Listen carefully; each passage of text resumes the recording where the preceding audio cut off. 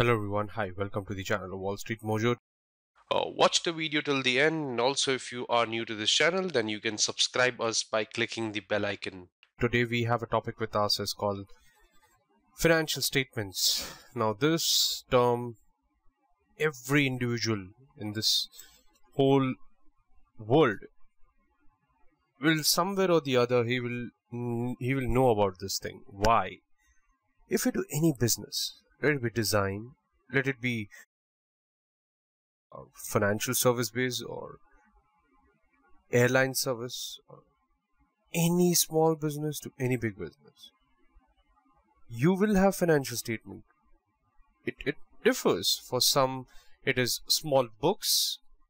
For some it is a big balance sheets and profit and loss and cash flow statements. For some you know it is uh, they maintain in terms of uh, small cash books of accounts you know cash in and cash out and they prepare their own profit and loss statements.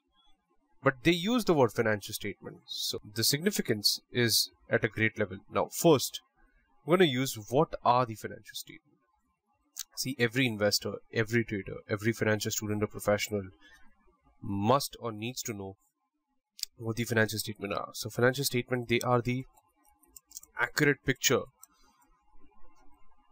of the financial affairs of the company in a given year. So the financial statements they are prepared by using uh, financial data that is collected by the accountants or financial analysts of the company. So the financial statement needs to be reported by following prescribed and standardized uh, accounting principle that should be used so that you know the reporting has the harmony at all the levels. There are four types of uh, financial statements.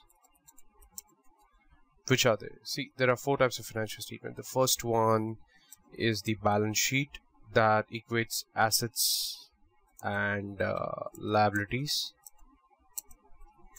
Okay. The second one is the income statement that takes into account uh, revenue and the expenses and matches them third one, you know, is the cash flow statement, the CFS.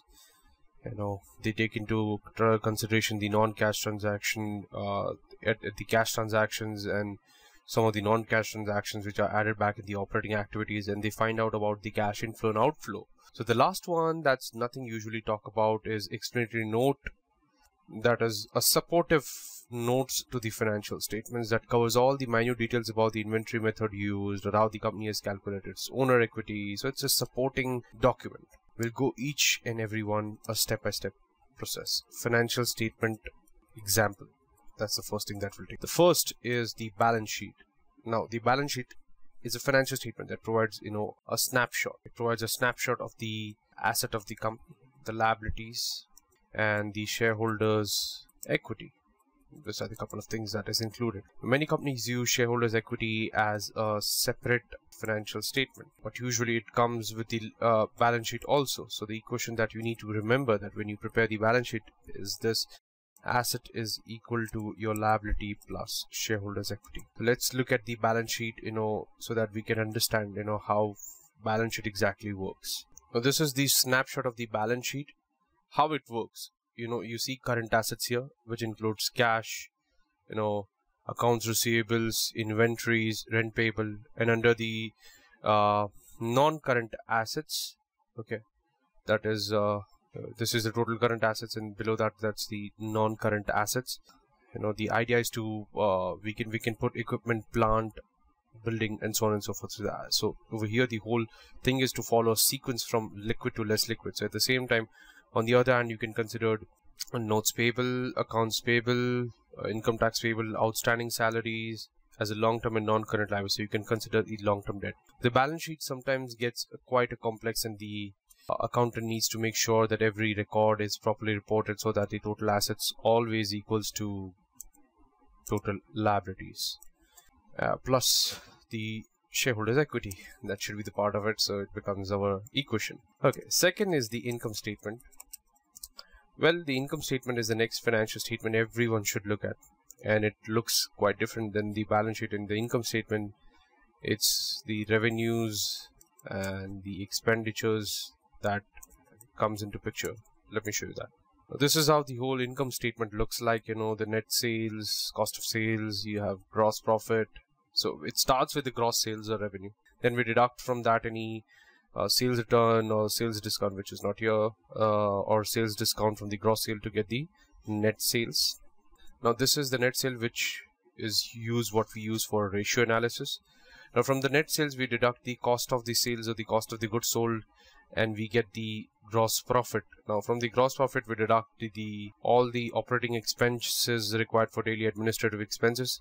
By deducting the operating expenses we get uh, EBIT that is earning before interest and tax. That is meaning the earning before interest uh, interest and taxes. Now from the EBIT we deduct the interest charges that is paid or add interest received and we get EBT that is uh, earning before tax meaning that earning before taxes is visible. Now from EBT we deduct uh, so this is your operating profit. You deduct interest you get EBT you deduct all the provisions and you get uh, your earning before interest and tax you deduct taxes. So profit after tax from that you deduct all the non-controlling interest that is now the income that is attributable to Colgate.